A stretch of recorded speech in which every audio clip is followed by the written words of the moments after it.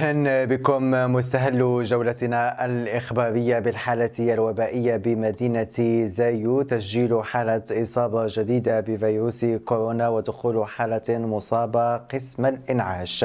ونبقى دائما في أخبار الحالة الوبائية. خبيران في علم الفيروسات. أكد في تصريح لشبكة الأخبار المغربية إم 24 أن السلالة الجديدة من فيروس كورونا التي ظهرت مؤخرا جنوب بريطانيا وبدأت تتوسع في أوروبا لا تأثير لها على اللقاح الذي ينتظره المغاربة.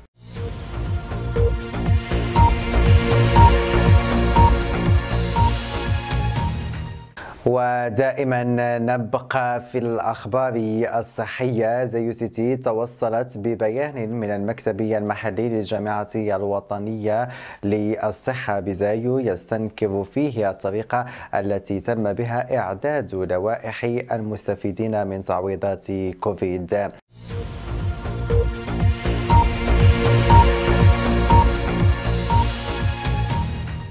وفي الخبر الرياضي السلطات المحلية والأمن بزايو يتدخلان لاستكمال أشغال ملعب القرب بعد توقف دام لعدة مرات. إثر احتجاج عدد من الأشخاص بدعوى أن العقار الذي يتم فوقه بناء الملعب في ملكيتهم تدخلت يوم أمس القوات العمومية لفسح المجال للشركة للشروع في التشييد.